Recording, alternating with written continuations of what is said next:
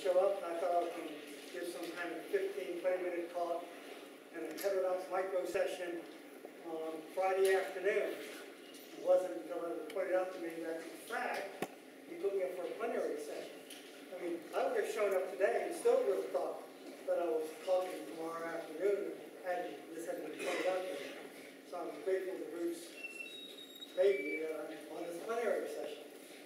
Now, the topic of this session is a, um, it's a long-standing topic for people like myself who talk about microeconomics, and we're talking broadly about people who do Sraffian stuff or Keynesian, social economics, Marxian, who deal with something other than the financial sector and some kind of aggregates. Um, do something below, below the surface. But I've been at conferences places where people talk about, for example, post-Keynesian economics is macro. And they actually say to my face, or when I'm, I'm sitting there, and I say, well, how about micro? Oh, you're an exception, Fred.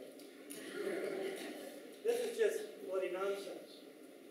So this is a long-standing issue of, in a sense, the role of microeconomics in heterodox economics. Uh, and it's not that I'm trying to say that all heterodox economics is um, microeconomics. In fact, as we go through the talk, talk, what you'll find out is that I would prefer not to have a division between micro and macro. We're just economists, and we do different kinds of things dealing with the economy as a whole. So this is, in a sense, a talk coming from a long period of time when micro, people did micro simply were not counted. An example of where they're not counted, that there's a rather large conference, a post-Keynesian conferences in early November in Berlin. And they are explicitly anti-micro, it's only a macro conference. I've written to them about it. And the response is, we just do my macro, that's it. Now, in fact, if you actually tried to do this in the United States, that wouldn't work. It's highly sectarian. Um, but these are the kind of things that, in sense, drive this particular talk. Now, hopefully I can do something right here. That didn't work. So that was slightly part of the presentation. The rest of it is that the micro foundations are macroeconomics. Great debate. We love this debate, except for the fact that the only people who actually want to engage in it are Tae-Hee Jo, and myself as a way to get some kind of credibility. We get people to talk about micro. We don't do it because we really think there's a real debate out there. We do it so we can talk about micro. Because otherwise, who would want to put on a couple of sessions on heterodox theory of the business enterprise or how we carry out our analysis of cartels or what happens in trade unions? These aren't interesting topics to many economists, many heterodox economists, so we have to dress it up. And of course, there's a lot of discussion about this micro foundation of macroeconomics, but it's a very strange discussion. First of all, some of the discussion revolves around that, in a sense, in the notion that the only microeconomics out there is mainstream micro. And hence the question is whether heterodox macroeconomics is compatible with it. Well, one would have thought, as we will see, is that that's a very strange notion to come across, but um, that's one of them.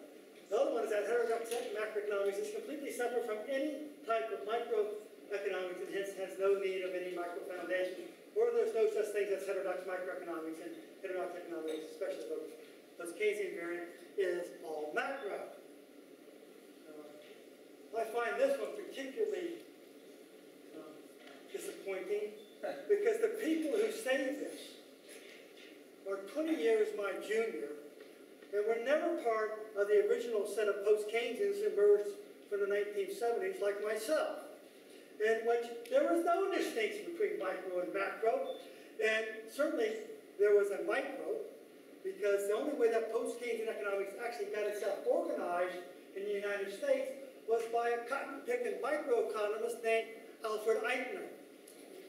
Uh, whose name has more or less been drummed out of people's memory. Uh, so the point is, is that that one is, is particularly. Uh, uh, but what's the problem? The problem that all three comments are in fact completely false, um, invalid, or whatever you want to say. Um, first of all, heterodox macroeconomics of any substantive nature is completely distinct from mainstream macroeconomics and hence cannot be reduced to micro, mainstream microeconomics. What I mean by completely distinct, we'll just talk about one small little thing that makes it completely distinct. Non-neutrality of money. Anytime you have the state in a chartalist approach, when the state creates money, money is not neutral. So whatever you want to talk about in terms of macroeconomics or heterodox macroeconomics, it is completely distinct from the mainstream. So I'm not sure why anybody would care about what's happening in mainstream debate when they want to reduce macro to micro, because heterodox macro has nothing to do with that. Another one is that mainstream microeconomics is completely incoherent. Not that it's not the real world, that in fact cannot say anything that it wants to say. Uh, the example I like to give to my students is that, oh, gee whiz, they can't get aggregate demand curves at the level of the market on their own branch. If you can't do that, then there is no, in a sense, coherency to mainstream microeconomics. The irony of it is that, except for my institution, because I teach sports, virtually every heterodox institution, we will reserve for this one at this honorable institution, teaches neoclassical micro as microeconomics. They don't teach any heterodox stuff. So virtually all heterodox economists, certainly in the United States, come out knowing neoclassical micro as microeconomics. Um, one would, should start questioning whether places like UMass or Utah are actually heterodox departments when they teach mainstream micro as the only micro. They actually teach it as if there has some meaning to it. I mean, I teach the damn thing. I tell this has absolutely no meaning whatsoever. but you should learn the thing. I mean, you go out and read little things about people with hairy feet and go off on quests with finding rings which make them invisible, and that has, and you believe that that has some kind of coherency. I know some people here might actually think it's true, but that's, that's another issue. But the point is that we learn all kinds of incoherent things because we need to know about them. And one of them is the classical micro. Can't be, can't be an economist without actually knowing the nature of it and its incoherency.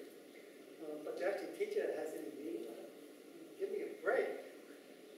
Then there's heterodox microeconomics, which is theoretically coherent, more or less, it's still, still in the works, um, which is completely distinct from mainstream microeconomics. So if you want to have a micro foundations debate in heterodox economics, then at least use the right microeconomics to have the debate with as opposed to the neoclassical microeconomics.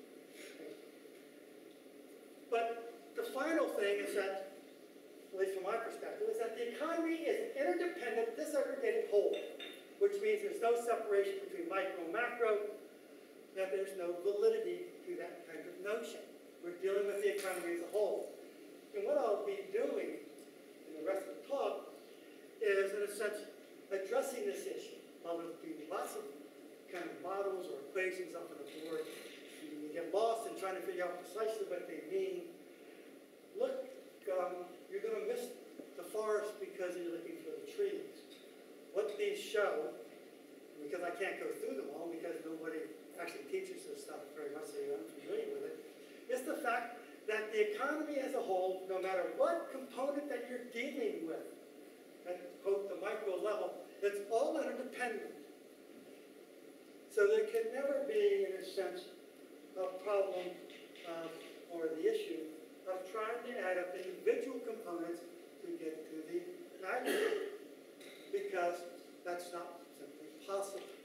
So what we want to be looking for as I go through this talk is the fact that we live, that our theory is an interdependent theory. So no matter what component you're dealing with, you're affecting someplace other in the economy and hence uh, we cannot separate the macro. So, with that, well, let's look at the economy as a whole. This stuff is going to look terrible.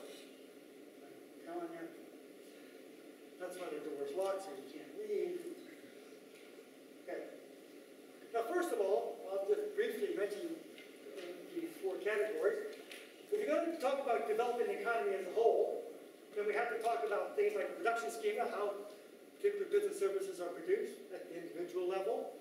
Then we, uh, so we have to talk about that. We have to talk about circular production, so we have an economy in which, um, which you have circular production. The, let's just say that everything is produced and reproduced within the economy. And we'll talk a little bit about what we mean there.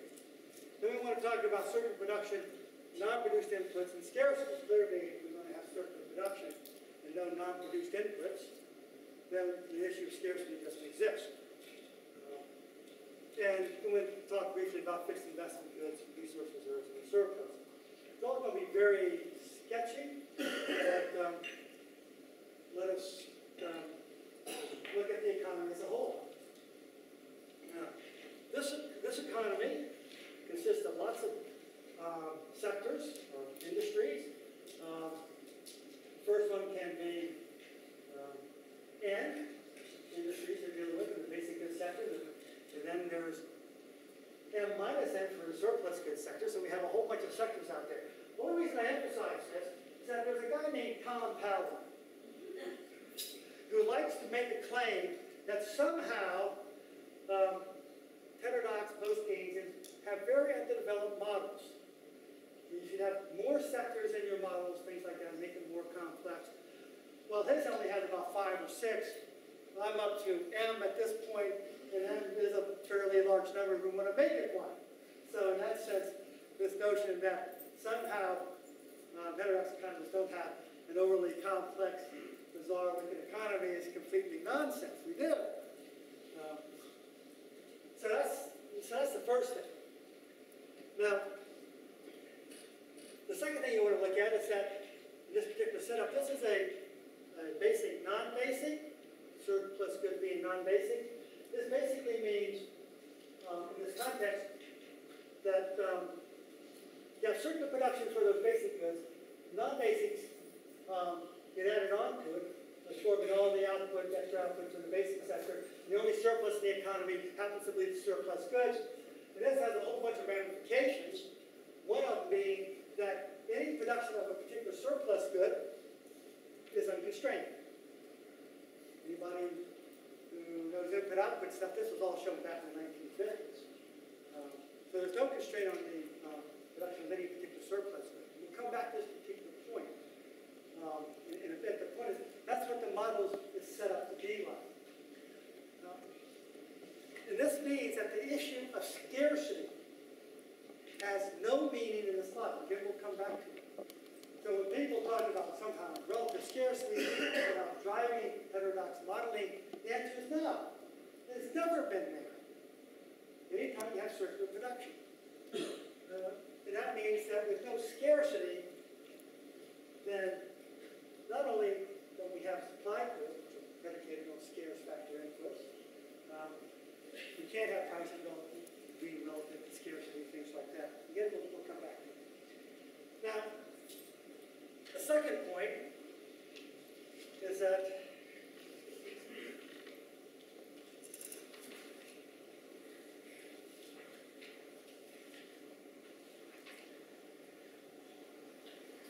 is that we have these things called labor and resource reserves. This is very interesting. The only reason you would ever put a constraint on labor or resource reserves is that you want to constrain output so you end up in a neoclassical world. That's the only reason you want to do it. So you have to ask yourself, why are Sraffians so hell-bent on having land as a non-produced input which has inherent fertility assigned to it? Natural, not socially constructed. I'm not going to answer that question here, but that's where we're coming from. I'm first of all going to argue, argue that resources are constructed, through the social joint stock of knowledge, limiting phrase. Um, are constructed by society. Resources can exist or not exist. We used to think that whales should be a resource, to be exploited. Um, the last part of the 20th century is trying to make whales a non-resource. Socially constructed non-resource. We can go on with it. In fact, the only reason that we can use whales that we actually have technology to be able to use it. If we didn't have it, then we couldn't use it.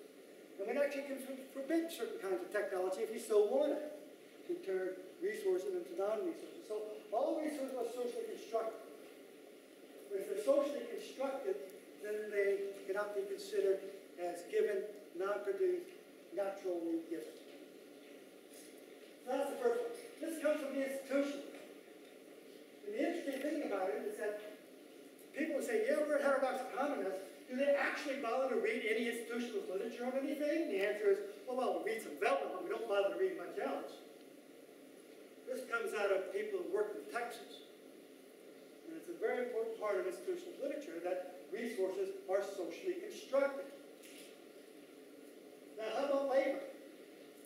Well, if labor is not a socially constructed entity, then I suggest, if you believe that labor is simply naturally given properties, somehow those properties are given, which makes them different. So now we have a division of labor, but it's naturally constructed. We all think that, then I suggest you retire now and take your partners out to some kind of interesting holiday because everything that you do is totally irrelevant. Of course, everything is socially constructed, but if you really want to believe in socially constructed labor, then just come and teach at an ex-polytechnic in the UK. I can tell you right now, they are directed, when I called you, it was also there, that they're directed to train or construct people to fit into the workforce, and that's it.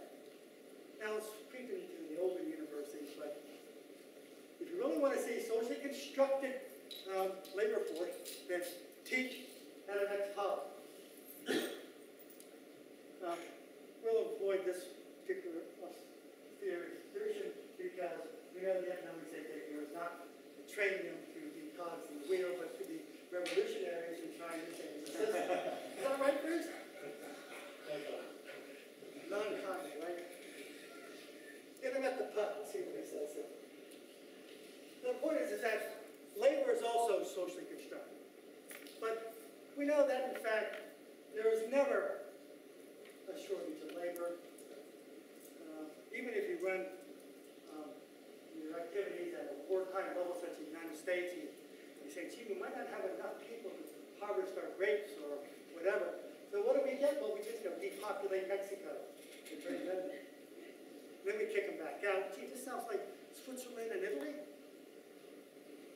But uh, we'll, we'll, we'll go down that line. But the point is, is that there's never, there's never a shortage of labor. There's policies which create shortages of labor, but that's a distinction from that there is a shortage of labor. And of course, without a shortage of labor, then issues like inflation become problematic. But we'll come back to that.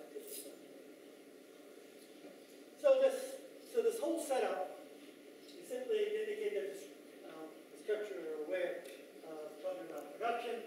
And we know that when you produce investment goods, consumption goods, or government goods, they actually have to go somewhere. They end up going to those sectors.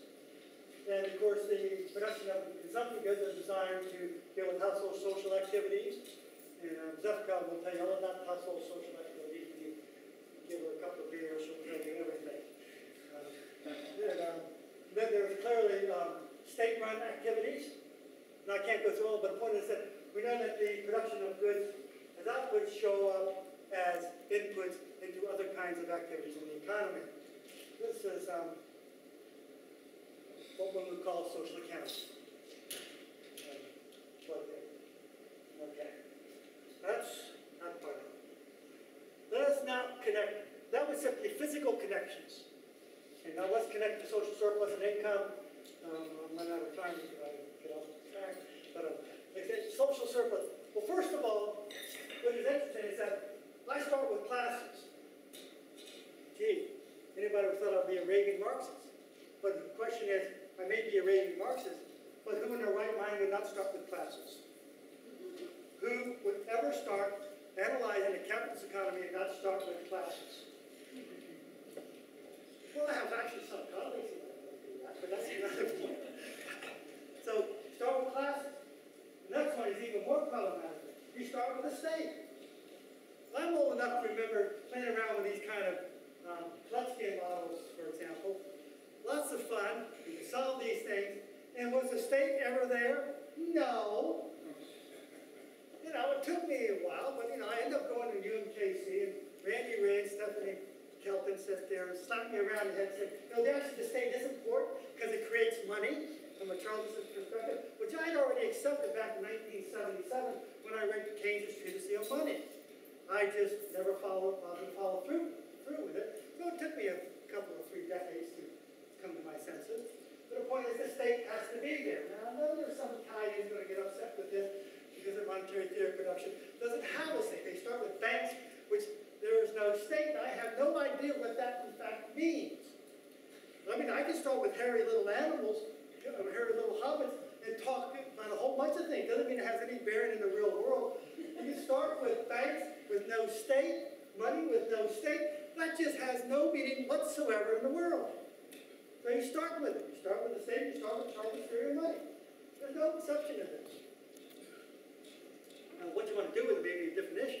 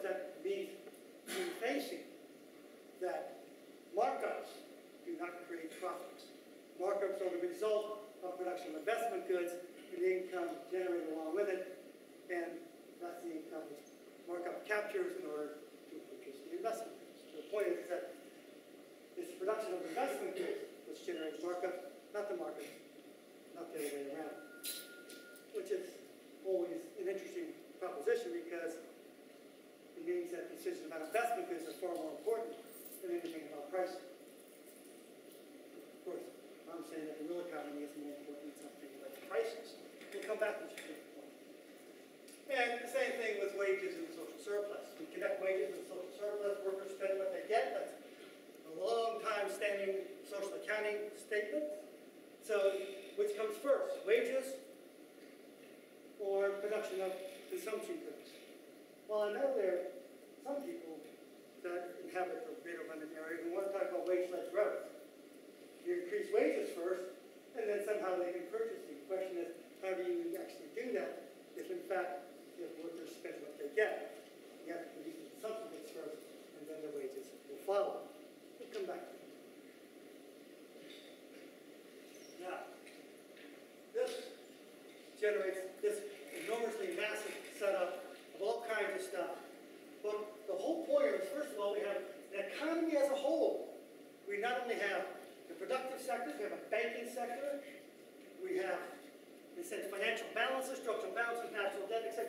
This is the economy. This is what we want to start out with. This is what we have to have in mind when we deal with it. So, remember, I'm a microeconomist, the way most people think about it. And my starting point is the economy as a whole. What you don't find are macroeconomists who say, gee whiz, we'll start with the economy as a whole, but do they start with something that's disaggregated, that you can then actually look at particular sectors or particular areas? Um, the answer is no. Is very strange. Um, very, strange. Now, I'm not I'm not gonna go through it. I just want to indicate that we have, we we can come up with a fairly complex model of the economy. Model here is that whole set of quantitative equations here, mathematical equations, which you then can manipulate as opposed to the scheme. Um, But, so we have it set up now, you just kind of keep that in mind, financial assets, liabilities, all kinds of stuff in there. But what we have to have is a set of agency. Somehow people work, work with these kinds of frameworks, and they actually have no agency whatsoever. That is, those that actually make decisions that make the system run. So what kind of agency can we look at? Well, the agency that I want to deal with um, is enterprise, state, household, market governance, that be cartels, employer associations, price leadership, that is how do you control markets, and trade unions, the other side of it. All of these are designed to um, provide agency within the framework itself. What I mean by this is, well, I should step back. A notion of an acting person. Acting person comes out of the social, social economics literature. The person is a social constructive entity, but it's not an individual as we would think of as an individual in a pathological sense. Um, the acting individual can't be the actual business enterprise. Uh, So it's a way- it's a way to capture the activities within the enterprise, all essentially worked out by individuals within the enterprise, what we call the enterprise itself, the acting person. who goes with the phone. Fortunately, in the United States, this becomes very concrete when we have to find that corporations are people. And some corporations get to have religious um, viewpoints which they can impose upon their employees. Supreme Court decision two days ago. I just want to let you know that if you think you have it bad here, just come to my part of the world, and you can have it even worse. Um, so, I mean, so what do we mean by this? So, is that these organizations make decisions about particular variables in the model of the economy. That's what they do. So wage rates, wage rates are just not, well, let's assume a numeraire, as some would do in their pure labor model, right? But I wouldn't talk about units. Nothing of a Point is that these are all decisions. You these various acting organizations, institutions, make decisions about these particular variables. And it's only with their decision can the system actually run.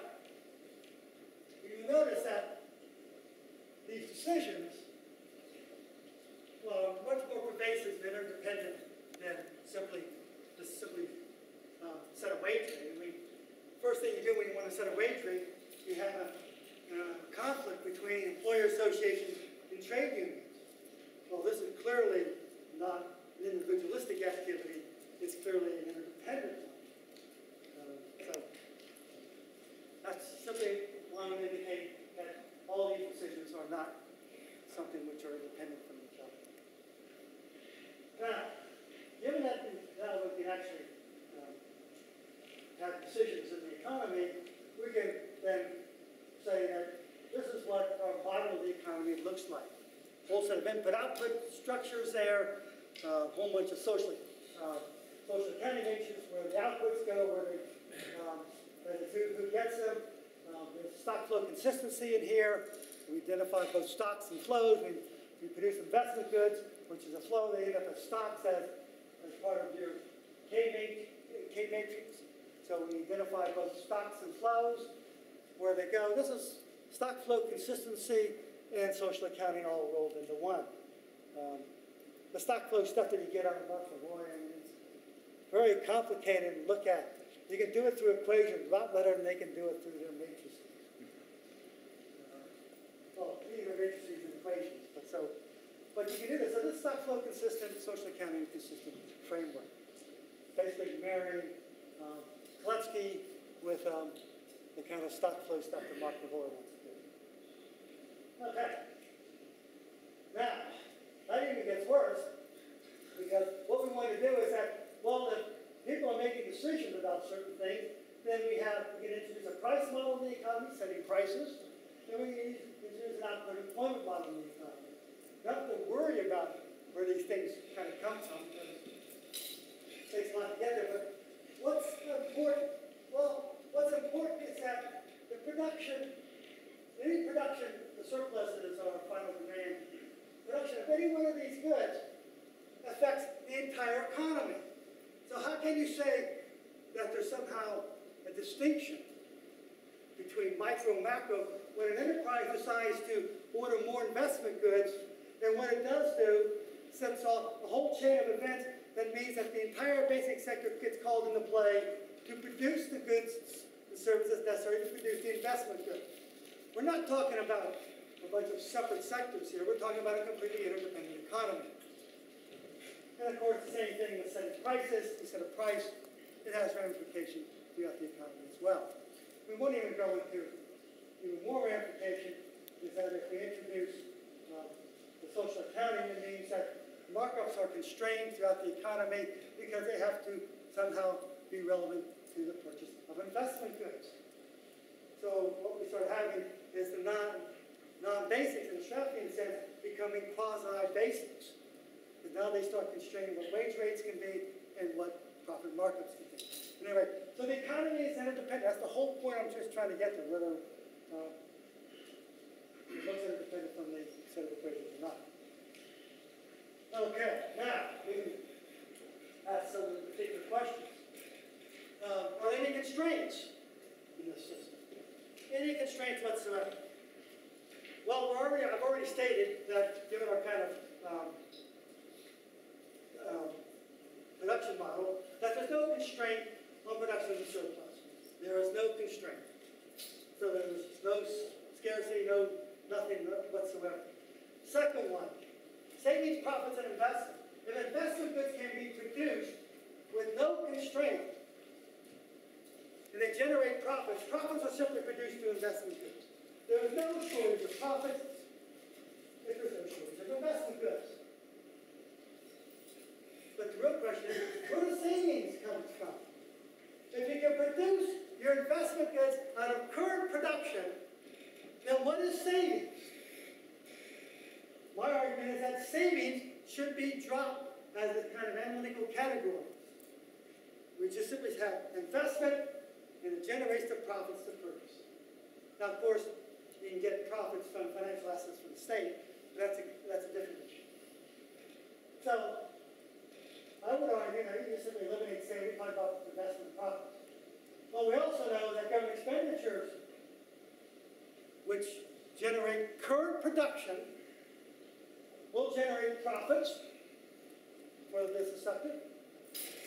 But what if that's not a current production? Again, where do we need savings? We don't need it whatsoever at all. And finally, wage rates, uh, wages, consumption goods, and profits. First of all, consumption goods and investment goods are not trade-off with each other in the nature of the production system. Uh, and consumption goods simply generate the kind of wage rates and wages needed to purchase them. It becomes very easy. You produce the consumption goods, then you generate the wages and uh, wage rates to follow. So there can never be a, well, we'll come back to something about legislative growth. Okay. Let's come back. Well, let's go to the issue. Can we actually organize economic activity around the price mechanism?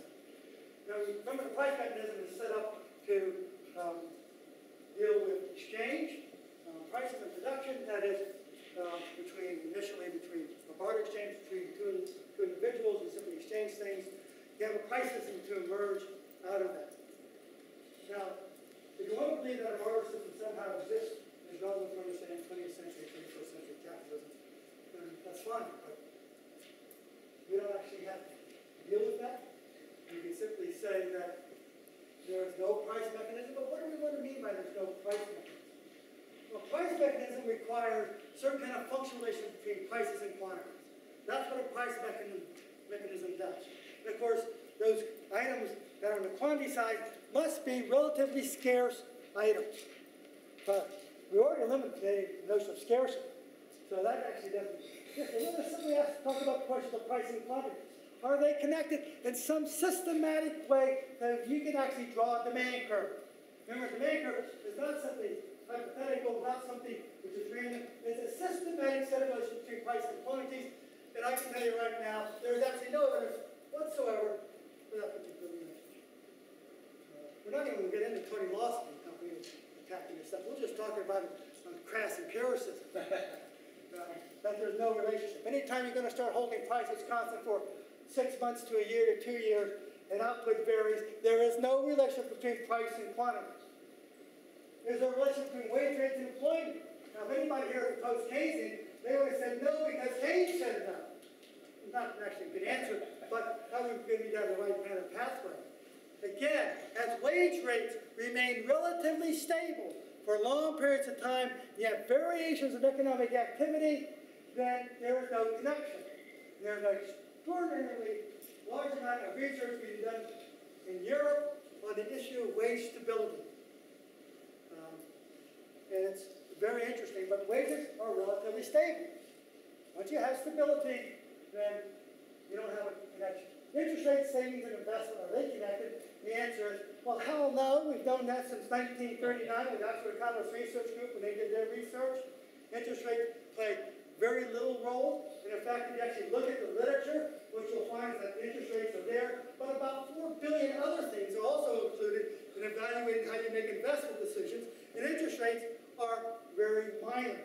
I'm not saying that uh, they're not looked at, but they're very minor. But of course, what you can't get, that kind of setup, is a functional relationship between interest rates and investment.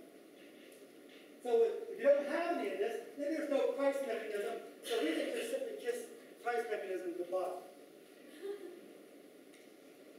Now, this brings us back to what does actually organize economic activity? And I'm just going to state quite bluntly, it's effective demand or production of surplus. That's what we've been stating all along. All of economic activity is coordinated through effective demand or production of surplus. What's so interesting about this? Well, first of all, prices don't play any role in the coordination of economic activity. It took me 30 years to make this statement. Since I come from Michael's position, you have to talk about prices, and I spent a lot